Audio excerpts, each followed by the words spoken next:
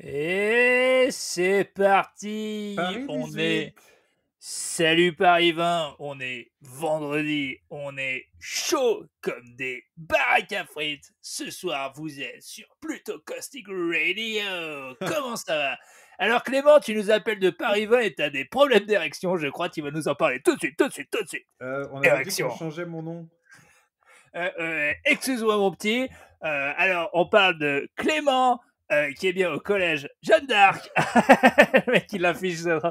Alors, tu disais que tu avais du mal à Tu avoir le kiki de Caro et que t'avais zizi bâton quand tu voyais Caro, c'est bien ça. Ok, on fait une grosse dédicace à Caro. Et d'ailleurs, Caro nous appelle tout de suite. Euh, Eh, tu- on- tu ouais, attends, on se moque. Les radios libres nous ont appris beaucoup de choses, tu sais. Elles nous ont appris qu'on pouvait être payé grassement à faire ce qu'on est en train de faire pour 50 C'est ça. balles. Mais... Euh, mais bien plus que ça, encore des dons. Euh, merci à tous ces dons. On a appris, alors euh, que j'étais idiot à dire en fait que le- pour les dons de 1 euro, parce qu'en fait on s'est aperçu que la marge de Buy Me a Coffee, qui sont très sympathiques par ailleurs, euh, fait en, en gros sur 1 euro, ils prennent 50 centimes. Alors si attention, euh, euh, Buy Me a Coffee, pas sûr. Je crois que c'est la marge PayPal ou frais bancaires à voir. Ok, il y a des marges. qu'on n'a oui. pas de. Ouais. Voilà, vu qu'on paye les frais- Bon, en gros, euh, effectivement, peut-être le don de 1 euro. Et, enfin, sachez qu'un don d'un euro, c'est un don de 50 centimes, ce qui fait toujours plaisir. Mais effectivement, alors que par exemple, sur 30 balles, ils prenaient plus, ça faisait plus 1,50 euro. Bon, alors en gros, plus c'est gros, moins ils prennent de marge et plus on touche. Mais en vrai, euh, même, euh, même 1 balle, euh, si ça fait 50 centimes, c'est bien. Oui, Voilà, non, voilà, juste, on s'en doutait, hein, mais, mais c'est vrai qu'ils se, ils se font pas chier sur les petits dons. Je crois qu'on est sur des marges C'est- PayPal, mais je crois que c'est vraiment en fait, l'inverse qu'on reçoit quand ça passe sur PayPal. communiste en plus. C'est un petit scandale d'ailleurs ce truc. T'as un euro, on te prend 50%, t'en mets 30. c'est vraiment un truc de pute. Ouais, non, non, mais ouais, il y a, il y a un vrai truc sur les, ces microtransactions. Je pense que c'est ça qui, qui nous baise. Mais euh, toujours que les est-il gens que ouais, doivent- vous avez doivent- continué à donner. euh. Ouais, et ça c'est beau. Euh, On a encore ce décalage, hein, j'ai l'impression. Eh ben ça c'est de votre faute. Ça j'y peux rien moi. Bah non, non, moi je suis revenu dans ma pièce habituelle, je, je ne comprends pas. Euh, Qu'est-ce que. Écoutez, Attends, ça, ça va vais- nous obliger, eh, ça va nous obliger à prendre notre temps, à s'écouter parler. Tu Ouais. sais, à un moment, avec cette société qui va à 2000 à l'heure, il faut savoir parfois freiner des, des cas de fer, quoi, et dire, euh, Bah, je vais bien prendre sûr. mon temps, euh, je vais m'écouter parler, euh, voilà. Et ça, c'est important. Ouais, mais, mais si j'écoute vraiment ce que tu racontes, est-ce que je fais un podcast avec toi? Non, mais pose-toi des questions. Peut-être, peut-être. Alors, c'est vrai que si je commence à prendre mon temps pour parler voile, pour parler monocoque et pour parler du plutôt caustic boat qui a été créé aujourd'hui grâce à vos Ah bon? Ah bon? Ah oui, alors je vais, je vais pas tout de suite passer là-dessus parce que je sais que ça peut faire chier les gens. Il y a des gens que ça fait chier, effectivement. Oui, beaucoup d'ailleurs. hein. C'est pour un ça qu'on certain Urbain va- C, On va aller Et- qui ce serait Après, je laisse ça libre à l'interprétation. Non, non, non, mais c'est complètement normal que ça fasse chier les gens. Euh, Moi-même, avant de me, me- me mettre comme ça à fond, hein, à corps perdu, à me jeter dans la course de bateau, je trouvais ça chiant. Vous verrez quand on sera en mer, ce sera pas la même musique. Toujours est-il que, voilà, je vous le dis, j'ai le pack entier. Euh, merci à tous. J'ai toutes Combien, les voiles. alors? Euh, Combien? 29 balles. Ah, bah ça va. Et du coup, avec ça, on est bien? Avec ça, on est, on est parfait. Euh, avec 29 balles, j'ai tout ce qu'il faut. Par contre, je peux pas personnaliser le bateau euh, plus que ça. Donc, il n'y avait pas plutôt caustique. Donc, je vais vous demander de choisir. euh, Urbain, c'est à vous, c'est à vous que je parle. Soit je prends le bateau pirate. Donc, euh, j'ai une- une- un grand crâne sur la voile et une sorte d'imitation bois assez dégueulasse pour la coque du bateau. D'accord. Soit je reste sur quelque chose dont je vous ai parlé la dernière fois, un peu plus Micaline, un peu plus artipole, un peu plus artisan français. Mais est-ce que se mettre en pirate, c'est pas directement dire à nos concurrents euh, on est des fous et c'est pas dangereux? On a ça, on a aussi Maître, je suis- Maître Coq, c'est les petits cordons bleus, j'ai Charal, la, la- la viande aussi, j'ai tout, j'ai tous les sponsors, j'ai Hugo Boss également. Non, mais attends, tu... fais-moi plutôt une liste des sponsors euh, parce que. Bah, c'est Charal. bah, c'est ceux que je connais. J'ai Charal, l'Occitanie, c'est des crèmes pour les mains. Donc ça, hors de question. Je te le dis Mais tout ça, de j'aime suite. pas trop. Ah, je déteste ces magasins-là. Euh, ah, Banque magasin de- Populaire, c'est ma banque. Bon, ok. Euh, j'ai quoi d'autre? Banque Pop? Banque Pop, Non, ouais, non, non, j'ai, Non, non. j'ai- c'est tout ce que j'ai. J'ai la rousse. Ah, c'était bien, c'est bien ça pour vous les bouquins. Ouais, mais j'ai pas envie de mélanger mes deux passions. Non, mais tu sais quoi, je vais rester soit pirate, soit Artipol Micaline. C'est à vous de me dire. Ok, mais c'est dommage. Alors, on peut vraiment rien marquer. euh, Bah déjà, le, le nom de notre bateau. D'habitude, les, les bateaux, ils ont un nom. Ah, il s'appelle plutôt euh, caustique. euh, là, j'ai été, j'ai été, ça, j'ai dit à l'appli direct. le- mon bateau, ce sera le plutôt caustique. D'accord. Et ça, c'est bon? Ça, c'est bon. Bon. Bah écoutez, euh, moi. euh, Pirate ou Micaline, c'est à vous de me dire. Je sais, je sais que c'est pas un choix que vous pensiez Ah bah non, mais là, là, là, vous me prenez au dépourvu Bah, comme ça. Euh. Alors, attends, bon, attends. Euh, déjà, je voulais te faire un petit son que t'aimes bien, un petit son du vendredi, t'es prêt? Ah, vas-y. Tu l'as? Ouais. Oh, c'est sympa. Allez, à ton avis, c'est quoi? Alors, euh, te connaissant, t'as pris une petite euh, Brewdog?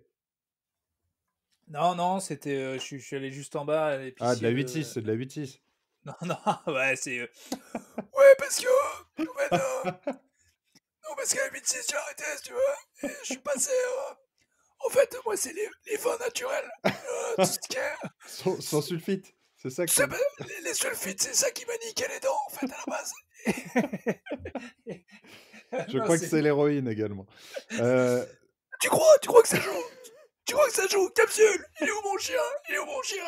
Tu crois Non, sérieux, tu crois que ça joue l'héroïne? Je sais pas si tu l'avais déjà faite, celle-là, elle est connue. Les, les gens qui te connaissent savent que euh, le, le punk à chien avec son chien capsule, c'est quelque chose d'assez récurrent. Mais dans le podcast, je crois que c'est la première. Ah, ça me fait plaisir de la sortir. Ah, elle, me celle-là, elle, fait, elle fait- elle fait mal, en fait. C'est dur de la faire. ah, mais nous aussi, nous aussi, elle nous fait mal. Euh, non, c'est une petite. Ah, celle-là, putain. Euh, bah, c'est Euh, quoi Vas-y, dis-nous, tu bois quoi? Je tiens à dire que c'est, en fait, comme toute bonne imitation, je n'imite pas une personne, Oui, j'imite quelqu'un qui imite quelqu'un, et là, j'imite Bernard Campan. Je suis allé plus loin que. Euh, Euh, il... Putain, euh, d'ailleurs, euh, Bon, tu bois quoi? C'est quoi ta bière? Il a pas dit encore. c'est une- juste une Heineken, mais je parle de Bernard Campan. Tout ça pour ça. Mais non, mais c'est tout ça. Eh bah super, une Heineken. Non, mais euh, euh, j'ai, je me suis lancé euh, dans le retour des, enfin dans les trois frères 2, je l'avais pas vu quoi. Ah, moi non plus, j'ai pas osé, tu vois. Et j'ai vraiment cru euh, parce que j'étais trop confiant en moi-même que je allais pouvoir me le faire d'une traite. Et en fait, il est incroyable ce film parce que il a vraiment l'air de durer trois heures. Je te jure, si tu rentres dedans, tu dis. t'as fait combien de temps là? J'ai fait la moitié en fait. Et en fait, euh, là, on rentre, je rentre vraiment dans le dur, quoi. C'est qu'il y, a- y a des films comme ça qui ont vraiment l'impression. Enfin, t'as l'impression qu'ils durent des heures. Et celui-là, je me suis dit, bon, allez, c'est c'est pas grave. euh, je sais que ça va pas être euh, très marrant. Mais le truc, c'est que c'est vraiment pas marrant. euh, mais en plus, alors, ce qui, non, mais ce qui mais- m'attriste pas, c'est que c'est pas, c'est c'est pas trop pas marrant. Ce qui est fou, c'est qu'ils ont réussi à faire un, pas forcément un pas marrant des blagues, bon, qui sont pas marrantes, mais ils ont fait surtout un pas marrant des. Les, les personnages, en fait, sont méchants. C'est-à-dire, tu sens vraiment. Ouais. Ils ont trop, trop mal dosé le truc, euh, euh, tu sais, où de- en comédie où des personnages sont méchants, mais tu les aimes quand même bien. Genre Ouais. euh, Larry David ou, ou même les trois frères 1 qui est parfait. Où en fait, c'est des vrais fils de pute, mais tu les aimes, les apprécies quand même un peu. Là, Et, et tu t'en rends compte que quand t'es plus grand, d'ailleurs. Tu vois, moi, il m'a fallu beaucoup de temps pour que je me rende compte à quel point ils étaient tous odieux, alors, tu vois, dans leur, dans leur registre, quoi. C'est vrai, mais c'est odieux qui passe. Là, c'est vraiment. Ils sont affreux et vraiment le. le, le...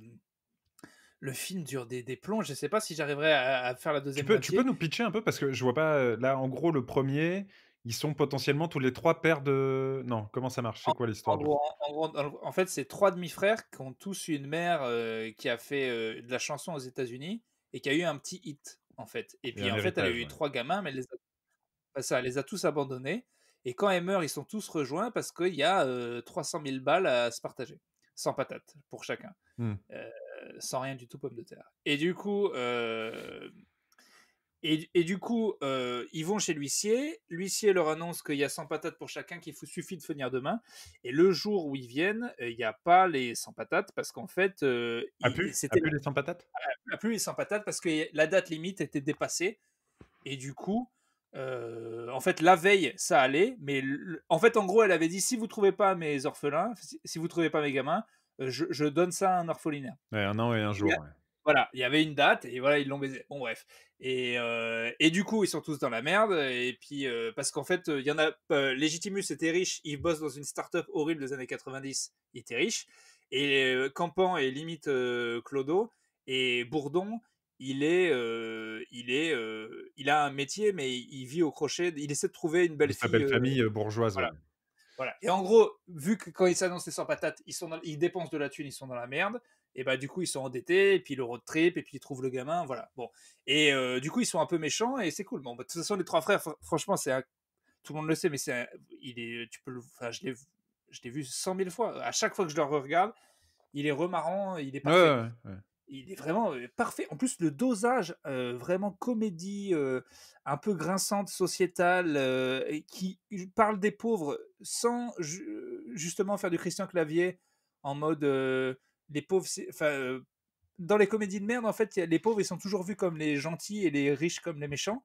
Et là, euh, c'est un peu comme dans Affreux, ça les méchants, ou les bonnes comédies italiennes, c'est des Mm. pauvres, mais ils sont pas relous. Bon, bref, franchement, euh, je vais pas dire que. Enfin, tout le monde le sait, Trois Frères, c'est trop bien. Bon, bref.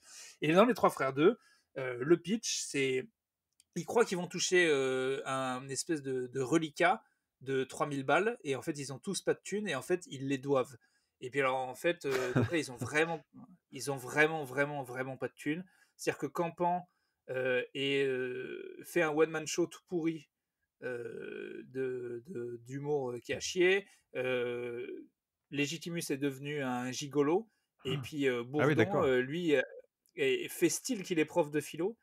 Et en fait, il est, donc il est marié à une meuf horrible, euh, genre vieille fille, euh, prof de lettres, vieille fille qui vit avec sa mère. Et il attend qu'un truc, c'est que la mère crève. Et il fait style qu'il est prof de philo, alors qu'en fait, il vend des sextoys sur un parking. Et, et en fait, c'est glauquissime. Ok, c'est sordide. euh, Dès le début, c'est sordide, quoi. c'est sordide. Normalement, il devrait y avoir des bonnes blagues, mais le. Je sais pas pourquoi. Il- ça mais prend ça- pas ou tu crois qu'ils ont perdu le- la touch ils Ah, ils, étaient, euh, ah, ils sont, ah, ils ont tout perdu. Ah, ils ont tout perdu, ça c'est sûr.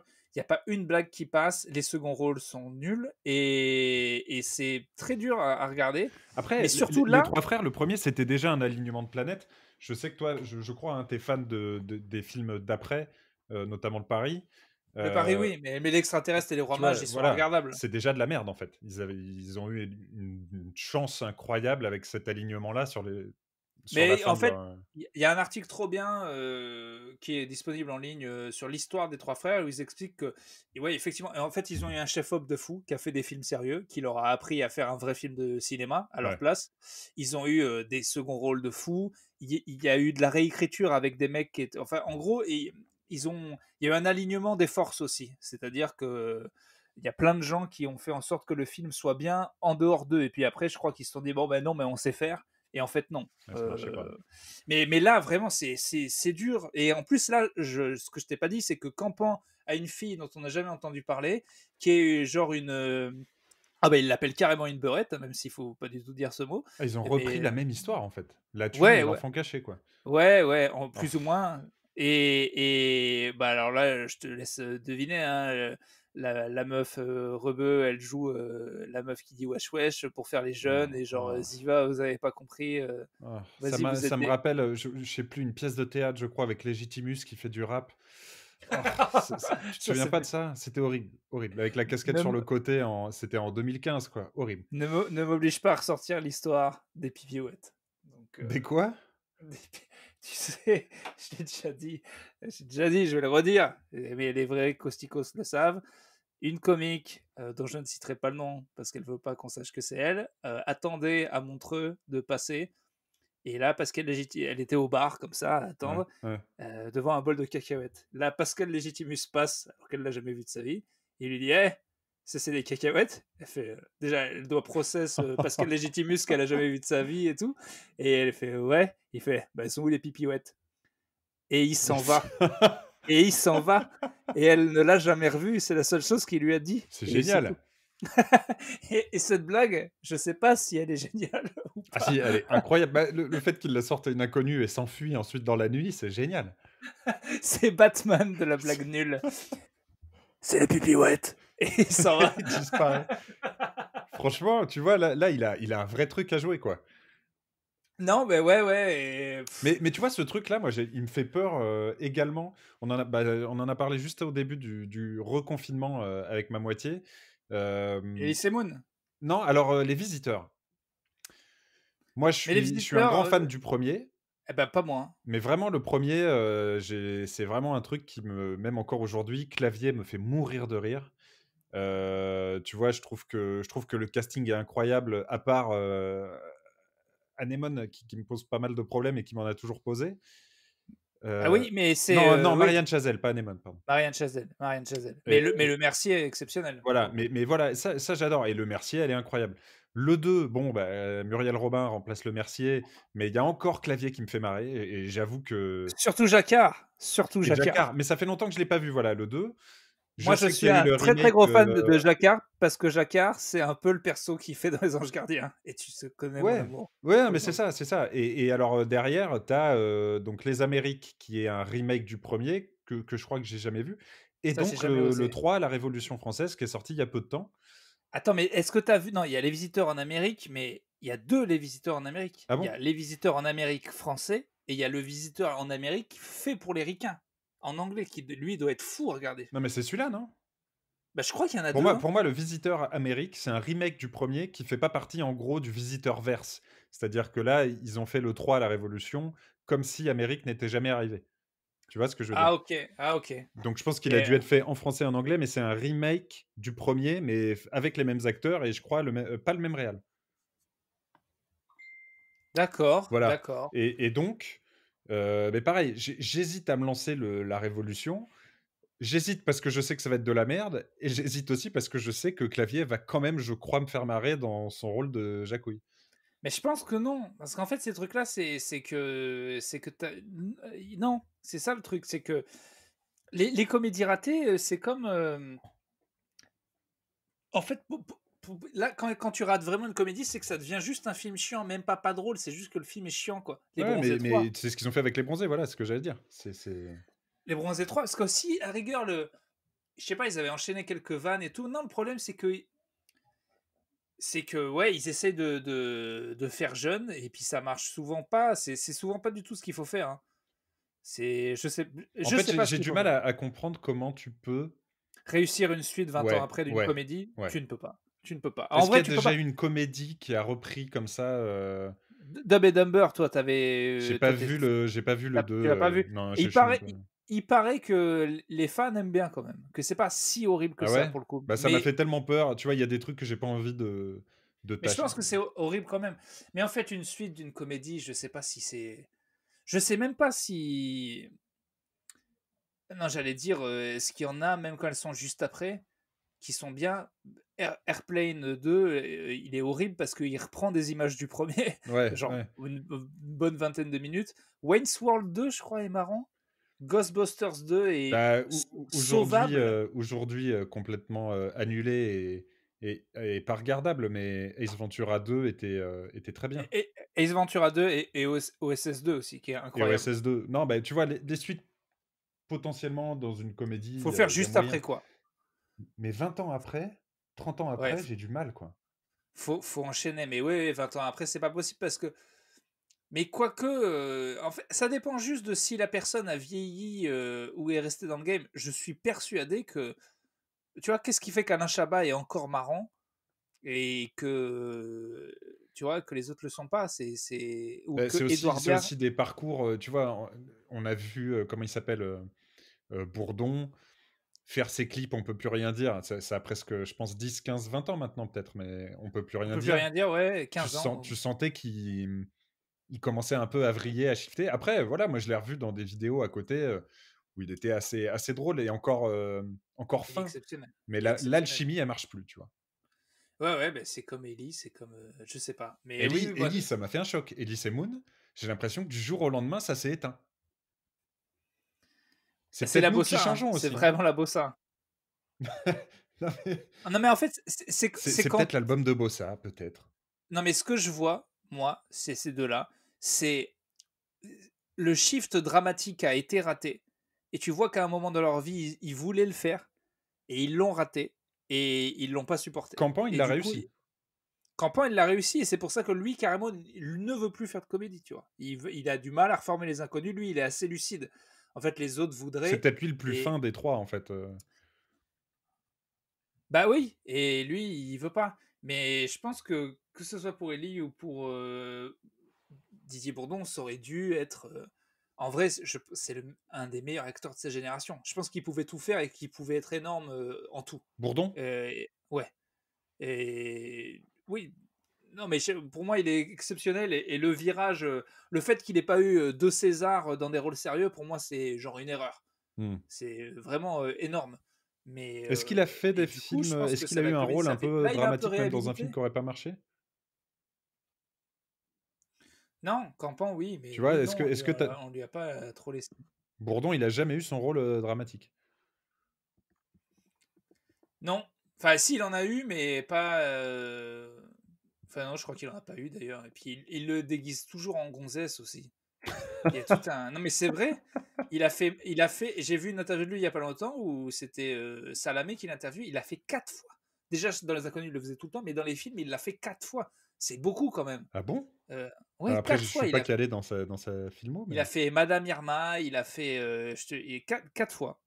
Donc c'est quand même beaucoup dans une filmo de faire quatre fois se déguiser en femme. Et puis c'est D'ailleurs, c'est un truc qu'on qu'on refera plus jamais, ça, en vrai. Madame Dotfire bah, Ouais, mais Madame, Dotfire, c'est encore quelqu'un qui. Qui est un mec et qui se. Ouais. Mais les, mais les, il y a des, il y a des comédies, notamment américaines, totalement premier degré d'un mec qui joue une meuf. C'était même une théorie à un moment euh, occulte de la comédie américaine qui était que quand les Noirs euh, voulaient vraiment percer à Hollywood, à un moment on leur disait Ok, mon gars, bah, faut, faut te déguiser en meuf. Et c'était arrivé à Jamie Foxx, c'était arrivé à Martin Lawrence, c'était arrivé à Eddie Murphy. Et en gros, il y avait.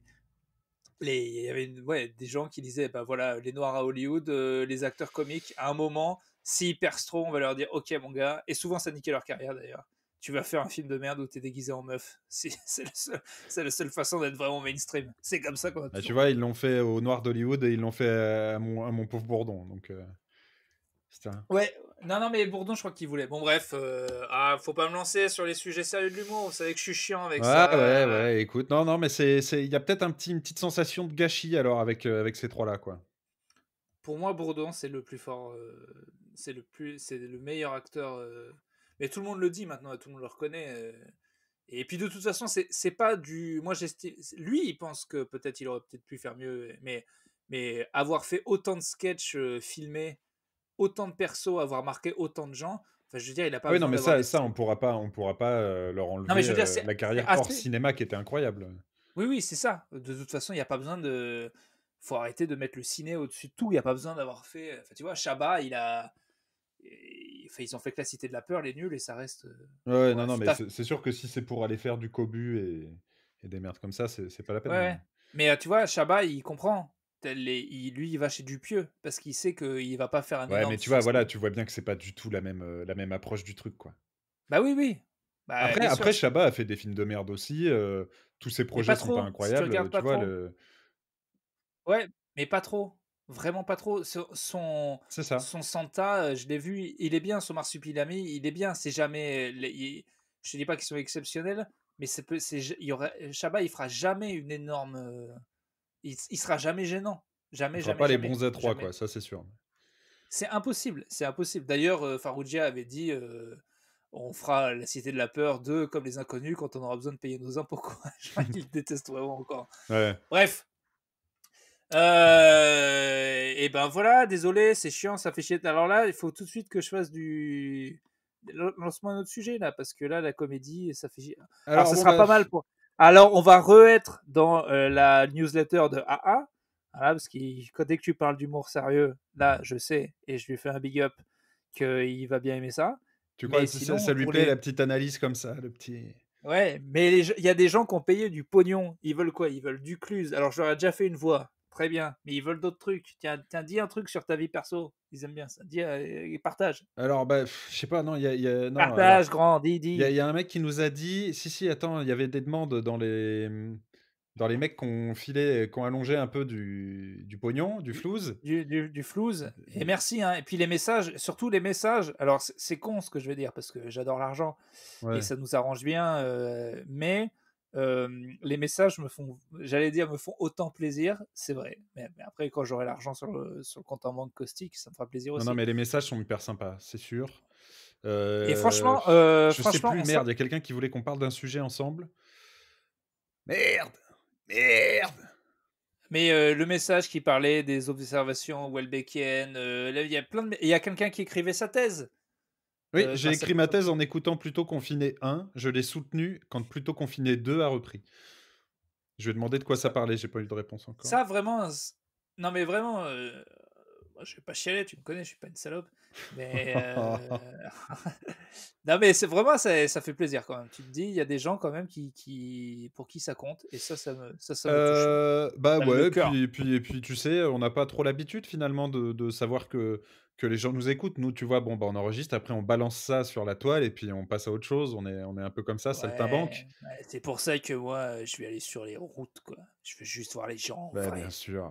Leur En vrai, prendre la, casser- la tête entre tes pognes là, et les regarder. ça, c'est- ouais, c'est pour ça que je fais du stand-up.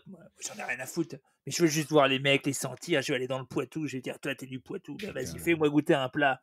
Voilà, de chez et- toi, un plat voilà. du Poitou là. Et voilà, et j'y vais. Et souvent, je vomis parce que c'est pas forcément bon. Mais, mais que, Bah, bien mais que le mec, bah, le mec, il est vrai. Il, il, il a fait son plat, il a fait Il sa l'a fait saucisse. avec ses couilles, son plat, avec Voilà, ses il tripes a- et son cœur. Voilà, voilà. ce qu'il a fait. a- alors c'est pas bon. Eh, voilà, Ça euh, fait gerber ça, on le dit. C'est dégueulasse, ton plat il est dégueulasse. Le, le mec n'est pas forcément sympa, on dort mal. Non. Euh, mais, mais on a vu, on a vu les gens, on a vu les gens. Bordel. Ah si, putain, Urbain, si, quand même. Euh, on a reçu un message d'un mec ou d'une meuf, je- non, Clément, un mec, qui nous dit un couple Ah bon, d'amis. ah bon, ah bon, Ah, quand on s'appelle attention, Clément, ah bon? assieds-toi. Ah non, J'espère que non, t'es non, prêt. mais attends, non mais quand on s'appelle Clément, on est forcément un mec. Pardon. Non, non, mais je sais pas ce qui m'arrive, moi je suis en même temps. Non, là. non, mais n'importe Je suis très quoi. vieux jeu, tu sais. Euh, bonjour plutôt Je caustique. le prononce, je le prononce. Cancelled. Un couple d'amis me soutient que vous vous foutez de la gueule de François Cluzet dans les Passions Cluzet, alors que moi, je défends l'inverse, que vous l'aimez au premier degré. Est-ce que vous pouvez trancher, s'il vous plaît? Est-ce qu'il faut vraiment Bah, trancher? Non, mais écoute, je suis surpris que des gens aient des doutes. C'est fou. Vous pensez vraiment qu'on on s'inflige des films de euh, François Cluzet parce qu'on l'a eu, on l'a eu trois fois dans le podcast. Non mais c'est, Il nous a appelé Euh, au téléphone. vous êtes dingue. La vérité se situe aux trois quarts. Et on l'a déjà d'ailleurs très très très très très bien expliqué dans la longue intro du premier Passion. C'est vrai, c'est vrai. Réécoutez Passion Cluzet numéro 1. C'est comme Nicolas Cage. On pense que c'est un excellent acteur. On pense qu'il a fait des très bons films. Mais parfois, il est surjoue et il nous fait rire. Mais ça reste à un premier degré. Mais bien sûr qu'il y a toujours un petit côté. euh, On n'est pas sur Vandame, par exemple. Non, On et, d'autant qu'il voilà, nous fait souvent marrer dans des comédies. C'est-à-dire que son côté guignol de- des petits mouchoirs et de la suite, il est voulu, il est Oui, recherché. c'est ça. Quand, quand- quand Euh, il- un quand peu, moins quand il fait le garde-chasse. Et là, on a Voilà. beaucoup ri, quoi. Mais là, lui, il le sait que c'est une rave. Mais euh, dans, ou même dans 11.6, quand, quand il regarde le film de Kung Fu et qu'il fait les répliques, au final, il me fait marrer. mais parce qu'il fait, mais parce qu'il fait très bien Tony Musulin, qui devait pas avoir une culte, enfin, qui lisait pas Dostoïevski le soir, qui était plus à se mater des films de Kung Fu en VF. En les récitant par cœur. ouais. Voilà, et il le fait bien. Et je regarde des films de Kung Fu en VF. Donc, euh, donc Non, non, mais c'est pour ça que, que. Non, non, nous, on est très sérieusement euh, fans de, de ce On petit bonhomme. Très sérieusement, allez, pour vraiment dire la vérité, on est à 75%. Voilà, c'est tout. Et c'est vrai que je ne sais, pour le donner raison à, à- ou tort à ce gars-là, est-ce qu'on ferait les vraiment très bons films, tu vois? Euh, C'est quand même plus marrant de faire un Passion Cluzet, par exemple, ce- le très bon film qu'il a fait avec Bien Guillaume sûr. Canet, là. Euh, comment il s'appelle euh, le, le polar là? Les liens du sang. Non, celui-là, je crois qu'il est pas très bon. Bah, c'est un polar avec Guillaume Canet. Non, oui, Ne je le sais, dis à mais personne. ne le dis à personne, ça c'est un très bon film. Mais t'as pas vu Les liens du sang? Il est, il est... C'est pas un mauvais film. hein. Non, mais Il, on a il dit a un mulet et, des mousta- et une moustache, mais c'est pas un mauvais Ah, film. Bah, déjà, non, mais euh, celui-là, quand il, fait, il a fait des chabrolles, il a fait même un, un, un- Intouchable. Moi, je sais qu'il y a plein de gens qui le trouvent gnangnan. Moi, je l'ai déjà vu quatre fois. Je le trouve vraiment Oui, mais alors attends, il y, a- il y a une différence. Tu vois, voilà, ces films-là, on les regarde, nous. La question, c'est est-ce qu'on en ferait un épisode? On reste un podcast humoristique. Évidemment qu'on va prendre un, un film où il en fait des caisses, ou peut-être il va un peu gueuler un peu ça. plus que de raison, parce qu'on veut vous faire marrer. Mais chez nous, comme ça, euh, c'est venu de- du fait qu'on regardait des Cluzet euh, tous les deux euh, avant le podcast. Ouais, ouais, non, c'est vrai, c'est vrai. Et d'ailleurs, je l'ai. C'est pas le même quand il est jeune premier et tout, mais on devrait peut-être essayer pour voir si c'est quand même marrant de le voir dans un bon film. Mais au final, on, on va devoir pas se moquer, mais on va devoir trouver les trucs drôles dans un bon film. Et Voilà. c'est. On est, en fait, on est esclave. On est esclave de l'humour. Nous, on aimerait bien euh, parler sérieusement pendant une heure, mais Pied, on est pied obligé et de faire les, les cons. Mais c'est ça. C'est ça C'est le ça. problème. Et d'a- et à d'a- cause de et- vous. Mais c'est vrai que ce podcast, c'est un scandale parce que dès que je suis un peu sérieux, à chaque fois, je me dis, mais arrête, arrête tout Mais ce- oui, Là, là, mais les, oui. les co- les comédies, on a fait quoi 10 minutes chiantes? Les zappez-les Zappez-les, ça ne sert à rien. Et après, on il va faudrait qu'on demande aux gens. Peut-être qu'ils sont très contents de nous entendre euh, un peu, un peu. Je vais pas dire, euh, je vais pas dire discussion de, de poivreau au bar parce que il y a quand même un niveau, il y a quand même une expertise, il y a quand même euh, un vocabulaire, un lec- tu vois, quand même. Moi, je ne parle que les choses que Bon, je connais. Toi, tu parles euh, que tu connais, bon, voilà. Euh, la, la comédie, euh, fromage, euh, les petits culs, et la politique. Alors voilà, tiens, putain, c'est ça. Alors je suis, je suis vulgaire, excuse-moi. Un mec, alors ça, voilà, je me suis dit typiquement, on va pas en parler. Un mec a dit, vous évoquez de temps en temps comme ça, ah, au détour d'un truc, le fait que vous regardez du sport, mais vous ne parlez jamais de sport dans ce podcast. C'est vrai, euh, parce que je pense que on va faire chier. je- C'est pour ça que je le fais pas. Je pense qu'on va Ah faire ouais. chier 80% des gens si on commence à parler des clubs qu'on soutient et de nos analyses de rugby, tu vois. Quand on parle de comédie, je sens qu'on en fait chier. Quand on fait des espèces d'analyses politico-politiciennes, je sais qu'on en emmerde un max. Bien mais sûr. alors, si on se met à parler de sport, non mais là, on va perdre vraiment beaucoup de gens. Ah, mais je pense. Si on commence à parler de toutes nos passions, vous savez que Clément et moi, on peut parler euh, d'un groupe euh, qui fait du death metal en faisant du pig squeal. euh, on peut parler de trucs vraiment chiants, quoi. Et, et- et Clément aime les bouquins très chiants, et moi aussi. Donc, euh, Sachant que derrière, il y a la NBA, le top 14, un peu de foot. Euh, Urbain regarde la pétanque hein, sur l'équipe 21. Euh, moi, moi Voilà, je suis suis- pas je- encore. Moi, c'est le vélo, tu passionné vois. de- donc, euh, voilà, le vélo, la voile. Moi, je suis passionné de tournois de Tetris, euh, de mecs qui jouent à Tetris sur NES en ligne. voilà. Euh, on peut, ça encore, c'est marrant. Non, mais on peut pas parler de tous ces trucs-là. on pourra faire un épisode un, un jour spécial sport que seuls les fans de sport écouteront. Mais là, non, vous avez besoin de, de force pour plutôt confiner. Vous n'avez pas besoin de nous entendre parler de, Voilà. du tournoi Destination. si, il Euh, y, a- y a bien, y a bien, il y a bien le cul. On a fait passion cul, voilà. parce que Passion ça, cul, ouais. ça Oui, mais le cul, ça plaît, ça plaît aux gens, le cul. On fera un deuxième Ça, ça- d'ailleurs. Euh, bon, on Ouais, lit. alors euh, j'ai pas beaucoup de temps, donc il faudrait qu'on passe sur euh, du pas de Seb. Sébastien, Bah, c'est bah, c'est ce que je viens de te dire. Sauf Donc, que tu m'écoutes. tu sais toi-même que pas de Seb, là on est, et je vais te demander d'être très sérieux, on est sur un moment compliqué dans la vie de Denise. Merde. Attends. Auto- auto- automatiquement, automatiquement. donc là, je vous le dis, on part pour trois pages compliquées.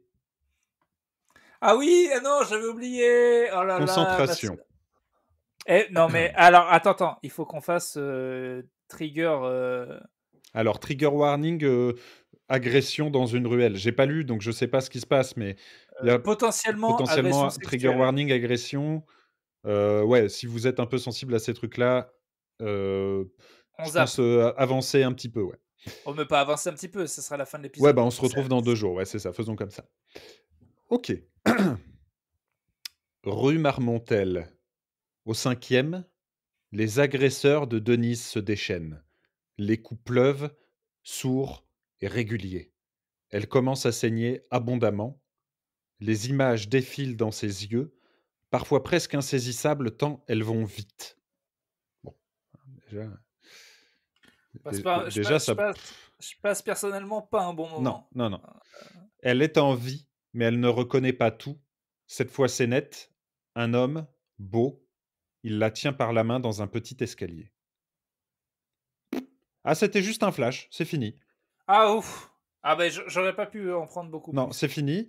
Euh, donc on va retourner à la ferme. En plus, euh, non mais j'avais fini de me branler donc. vous êtes un rapide, vous. Hein. Ah oui, bah, quand, ça m'intéresse. C'est hein, dommage parce qu'on passe sur une scène de cul là. J'espère que tu es prêt. Ah bah, je recharge. Pardon. Trop ça fait chier, on peut pas le monter, ça. Euh, désolé. Non, non, mais alors là, de toute façon, mais là, t'es sans filet. Tout ce que tu dis, ça sera diffusé, mon gars. Je suis désolé, c'était une, bonne blague. Bonne grosse vanne de, de beauf. Trois ans et quart ont passé. Elle a maintenant 15 ans tout juste, et l'homme qui lui tient la main en a le double. Attends, du coup 30 ans et combien t'as C'est ça, 30 ans. Il a 30 ans. D'accord. Les murs du petit escalier, euh, c'est pas mal. On peut faire un produit en croix si tu veux. T'apprécies la performance mathématique.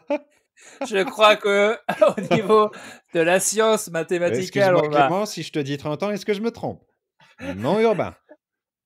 tu es dans le vrai. voilà, je pense qu'on a allié le mec qui aime la littérature, mais qui n'oublie pas qu'il a un passif de bac ES qui mixe aussi les mathématiques. Merci. Les murs du petit escalier sont gris sale, le tapis au milieu d'un verre douteux. Tu parles d'une montée des marches pour une première. C'est un petit hôtel, à peine convenable, au centre de Limoges. Oh. Ah, pardon, pardon. Tu remarques quand même, euh, au niveau littérature, comment il oppose toujours le glamour, et c'est une constante dans le livre. c'est un vrai, euh, oui, bah, fil rouge. C'est le, fil rouge de Vitriol et Mantes. Hein. De, la vie de Denis. C'est fort, hein. c'est assez fort, je trouve. Il est discret, ce petit hôtel au centre de Limoges, enfoncé au fond d'une ruelle sombre. C'est préférable parce qu'une gamine de 15 ans qui va y faire l'amour pour la première fois avec un homme de 30 ans, ah, ça se confirme, il a bien 30 ans, bien joué. Il a vraiment une maîtrise euh, du rythme, enfin du suspense qui est nul à chier quoi. C'est l'opposé d'Alfred Hitchcock. Il nous a tout dit dès le début. Il nous dit tout avant. Il y a zéro tension, on sait tout. Euh, appelle le livre euh, Une vieille pute suce Henri Lecomte, quoi. Enfin, je veux dire, ça n'a aucun sens. histoire, histoire d'une vieille pute qui suce Henri Lecomte. Euh. non, mais je veux dire, il, y a des spoilers alertes dans, dans, tous les trucs, quoi. Non, non, mais alors, et, et, puis, ça, a priori, c'est pas prêt de changer. Je, et je vais t'expliquer pourquoi. C'est préférable parce qu'une gamine de 15 ans qui va faire l'amour pour la première fois avec un homme de 30 ans, ça aussi, c'est interdit. Quand elle en ressortira, elle se dira que non seulement ça ne devrait pas être interdit, mais qu'au contraire, ça devrait être obligatoire, tant elle en aura un souvenir merveilleux. Eh ben. Donc là, on est direct sur Origins. Elle a tellement kiffé, elle s'est dit, je vais en faire ma vie, quoi. Ouais, bah écoute, quand t'es doué sur quelque chose, faut y aller. Hein. C'est elle qui lui a demandé de lui faire l'amour. Depuis déjà six mois, le ventre lui brûle. Alors, bien sûr, il y a eu les flirts même un petit peu poussée quand elle aventurait sa main sous la ceinture du garçon. Mais là, là, elle a décidé qu'elle voulait tout. Il est marié Et alors Justement, il doit savoir s'y faire, il doit savoir, lui. Elle ne veut pas essayer, elle veut réussir. Déjà, tu vois, ça pose un peu la personnalité de la gamine. Ouais, ouais. C'est pour ça qu'elle ne tremble même pas. C'est même elle qui ouvre la porte de la chambre. À peine, alors là, euh, bon, autant tout à l'heure on a fait un trigger warning, là on va faire un petit Peggy 18. On part sur du cul euh, avec une mineure. Oui, voilà. Euh, ouais, là, je préfère être clair avec vous. mais tu peux toujours, c'est toujours pas Peggy 18. Hein, c'est là, c'est Peggy prison. Là, c'est hein, Peggy. Euh. Non, oui, tout à... non, là, c'est Peggy prison. Peggy prison. Peggy, la santé. Alors, à peine le seuil franchi, il l'embrasse fougueusement et la jette sur le lit. Elle repousse ses baisers pour s'offrir, jambes écartées, le ventre nu. L'immonde culotte est restée à la ferme. ah, encore cette, cette, passion, pas de culotte. Quoi. Non. Elle est pressée, vite, que ça commence en vrai. Un autre se serait précipité, par bonheur, celui-là, il sait combien une première fois est cruciale. Le tact et le respect de cet homme vont conditionner bien des choses à venir. Peut-être toute sa vie de femme. Ah, d'accord. D'accord, ouais, très bien, très bien. Je, je ne peux pas. En fait, on ne peut pas commenter cette scène. Ça n'a pas de non, on ne peut pas. On ne peut pas. On imagine vrai, pas. Il, est vraiment. Il fait passer ce mec pour un bon gars. C'est ça. Et pour la, et pour la fille qui accepte, Mais là, on n'est même pas dans la majorité sexuelle Non. euh, de la loi. Non, Donc non. Là, on est complètement dans l'illégalité. C'est-à-dire que même si c'était quelqu'un de 16 ans avec quelqu'un de 15 ans, je crois que c'est pas. euh, D'ailleurs, que, que dit la loi pour les gens de 15 ans, mais ensemble, si la majorité sexuelle c'est.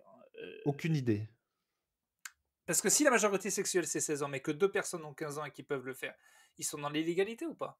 Aucune idée. Non, non, je pense pas. J'en sais rien. ben, Si la majorité sexuelle c'est 16 ans, c'est. Ouais, j'entends bien, j'entends bien, j'entends bien. Mais faudrait qu'on demande à Pat Seb, qui a l'air assez calé sur le sujet. Ouais, euh, au niveau de la loi, je crois qu'il est. Puisque, calé. puisque lui, tout ce qu'il trouve à dire, c'est on n'imagine pas à quel point la première étreinte est capitale. D'accord, oui, effectivement, c'est très bien. Combien sont-elles, ces mal prises et mal comprises, qui vont traîner toute leur vie le fardeau d'une première fois abusée ou frelatée? C'est vraiment Batseb qui dit Oh, parce que les, les, les- les grossesses un peu chiantes, c'est quand même des mal baisés. c'est c'est vraiment- Il va la Formidable. prendre délicatement, sans égoïsme. L'amour, il le fera à elle et pas à lui. La nuance est tellement importante. Mais oui, bien sûr, comme la nuance entre 15 et 16 ans, euh, Pat. C'est vrai. Et entre 16 et 25 quand on en a 30. Ah ouais. Elle jouira deux fois de tout son ventre, et même les mots d'après seront justes. Il lui dira Ça y est, tu es grande. Et elle soupirera C'était bon, merci. Très bien. Est- Est-ce que vraiment on croit à cette histoire? C'est vraiment écrit par un mec Écoute, de, de euh, la, de la meuf de 15 ans qui fait avec un gars de 30 ans pour la première fois, qui jouit deux fois du ventre, comme s'il y avait euh, des choses sexuelles dans le ventre. Bon, ça, c'est encore autre chose. Comme si les femmes pouvaient jouer, hein, déjà, Alors, premièrement. Mais euh, non, mais parce que pour l'instant, on m'a pas prouvé. Tu- le toi, tu n'y crois pas euh, à ce- ce- cet épisode de Dépucelage Tu crois que c'est les fantasmes d'un Pat Seb un peu. Déjà, déjà j'ai envie de te dire, l'orgasme féminin, j'y crois pas trop. Pour l'instant, je ne crois que ce que je vois. déjà. donc, euh, donc ça m'étonnerait. Euh, je préfère rester dans le déni là-dessus.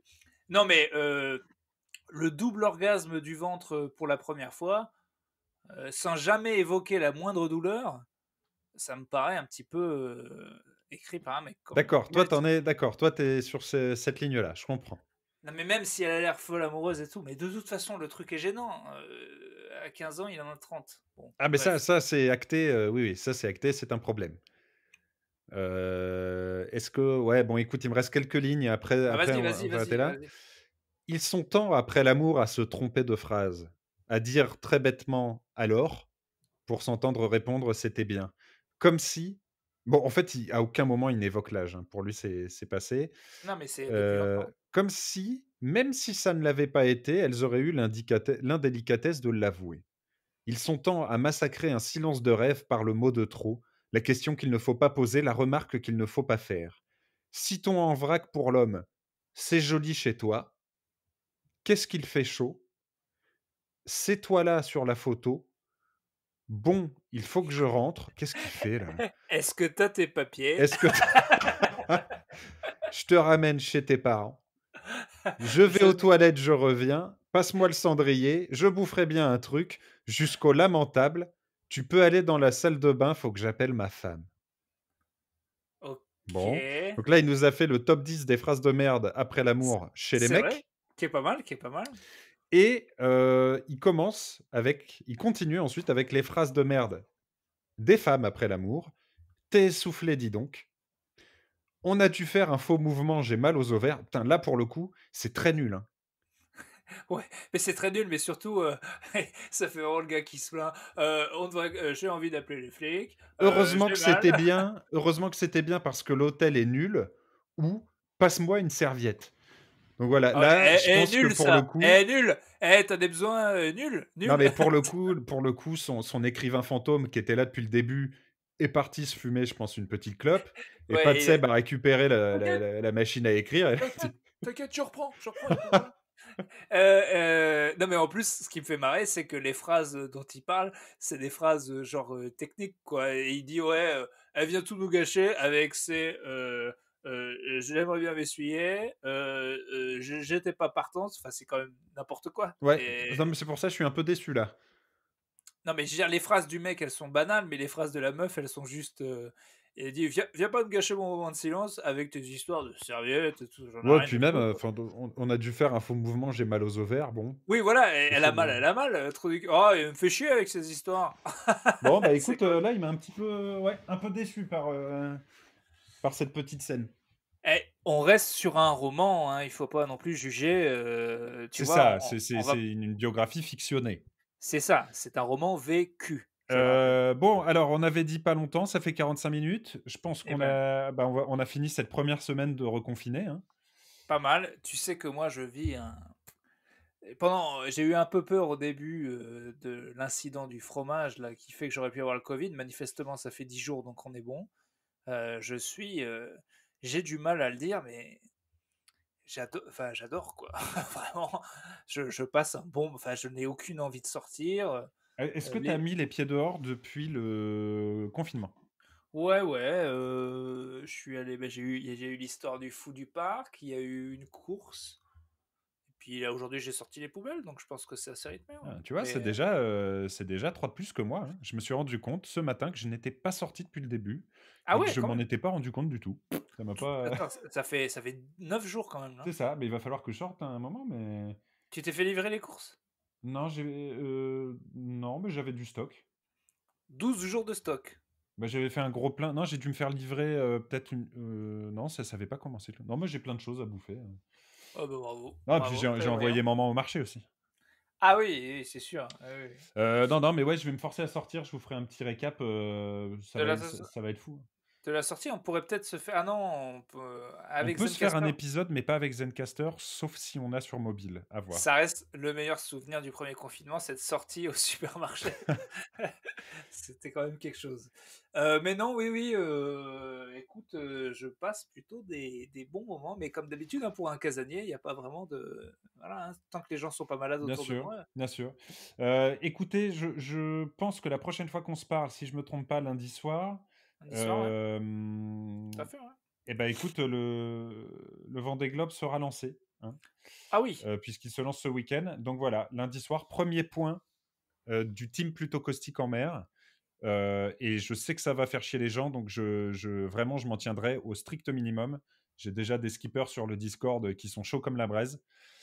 J'y crois, je suis à fond. Voilà. bah écoute, mon grand, l'important c'est que tu nous fasses juste une belle course. Il n'y a pas d'objectif. Un objectif, c'est que tu te fasses plaisir et que tu respectes la mer. C'est tout.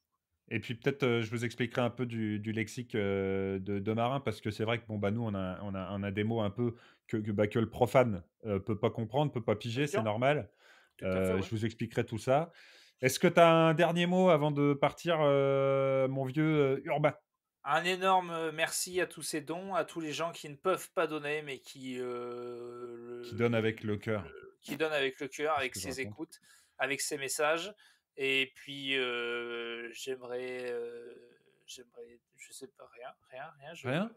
Tout va bien, quoi. Bah Ouais. écoute, écoute, tout va bien. Restez, euh, respectez le confinement, respectez vos proches, euh, restez, restez tanky, restez sur vos bases. Ah putain, l'action du Sud euh, devient de pire en pire. Il faut, ouais. il faut me laisser. Je suis en train de, je suis en train de me transformer. Lâchez-moi, lâchez-moi parce que je Il faut couper. Ça, ça me pire. Ça, euh, coupe, coupe, coupe, coupe, coupe. coupe. coupe.